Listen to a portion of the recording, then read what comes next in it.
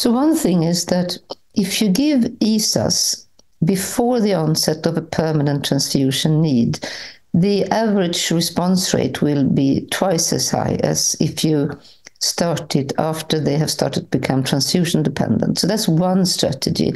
It will also last longer.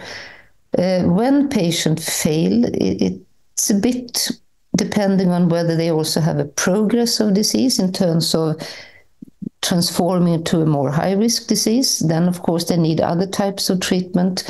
Um, chemotherapy azacitidine transplant and what's, whatsoever.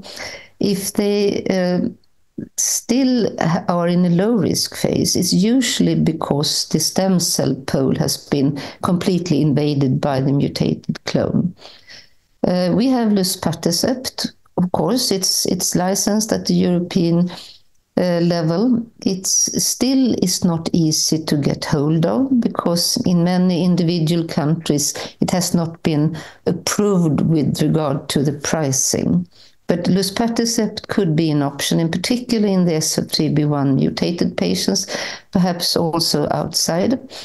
Another interesting option is imetelstat that acts on a totally different way. If, if things holds now in, in novel studies, it seems to actually reduce the clone um, in comparison to remaining residual wild type cells.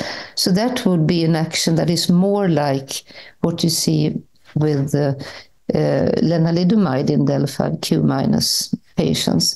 So that may be something, it will not have a huge response rate, but it's definitely something that will be an option for other patients. There are many other uh, drugs in in trial. I'm a bit, um, yeah. Let's see, let's see. Uh, just because it's shown in a phase one to two trial, it doesn't mean it will hold. So many other options have not really met with expectations. But I would say luspatercept and imetelstat are two new options that we have to find the role for.